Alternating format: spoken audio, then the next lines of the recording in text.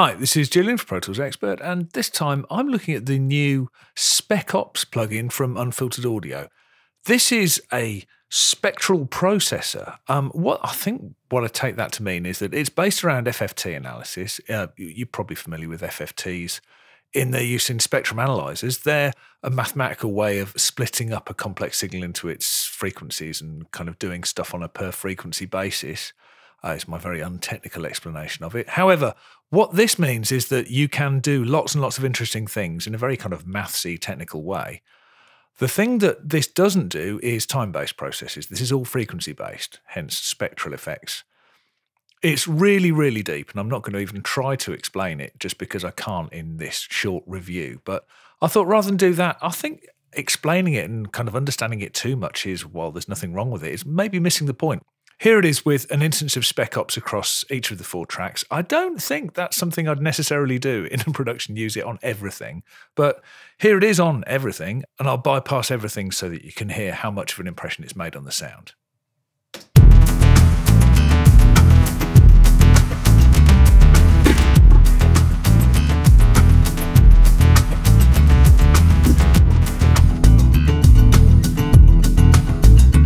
That's without pulling these back in again.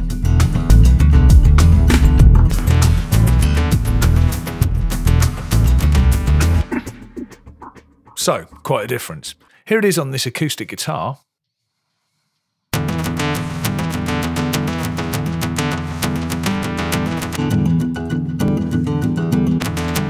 to jump in quickly on, for example, this drum machine over here.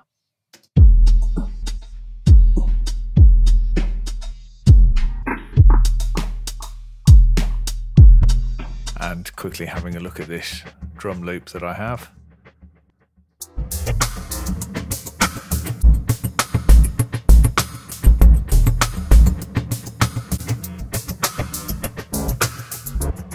I'm sure you can hear it's making quite an impression on the sound. However, what's it doing? Well, to begin with, you set up your analysis in the analysis block. That's uh, where you choose your windowing and your the size of the FFT. That's basically how many of these little frequency bins it's splitting the signal up into. That has a big impact on processor use and on latency. So you do need to be careful in use during a mix because if you've got it running at uh, at a high FFT size, then you're going to get spikes in CPU usage, and we all know how annoying they can be. So it's a thing to keep in mind. You'll notice some patch leads going around. This is modular and uh, it's very modulatable. So you can set up modulators, uh, sources, and destinations and do lots and lots of interesting things like that. And then uh, once we go through this geometry section, which has a huge impact on the sound, uh, if I just quickly.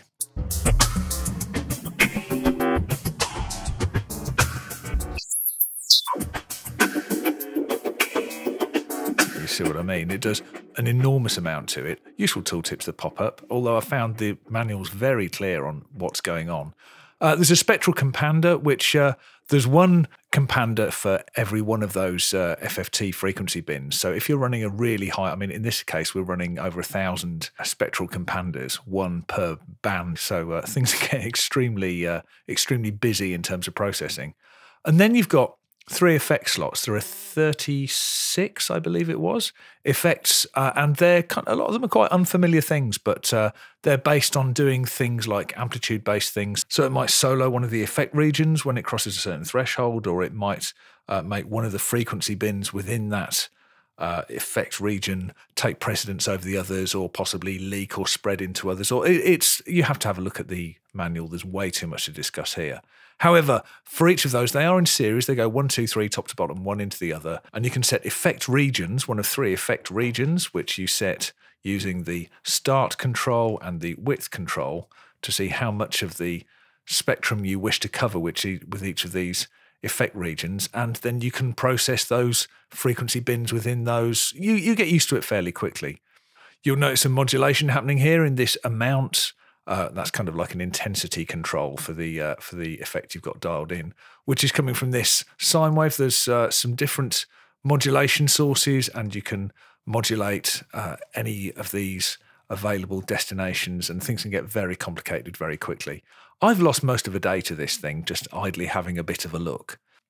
What do I think of this? I think you could lose yourself in this for days. Um, whether or not this is going to get much use on a typical jazz tracking session, I rather doubt it. But if you need to really mangle sounds around and create something new out of some existing audio, this is fantastic. And I stand by my earlier comment that I think explaining it too much misses the point of it. It's it's a thing for experimentation. And as long as you understand the user interface and the operating principles, it doesn't really matter if you don't know what it's going to sound like before you turn that control. And I think that's very much the case with SpecOps. Do I like it? I like it a lot more than I expected to, actually. This is great fun. And if you enjoy modular environments and mangling sounds and have a use for that, then definitely you should check it out.